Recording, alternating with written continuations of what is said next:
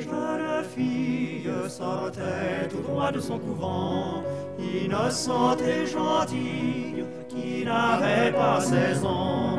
Le jeudi jour de visite, elle venait chez ma mère et elle nous jouait la truite, la truite de Schubert.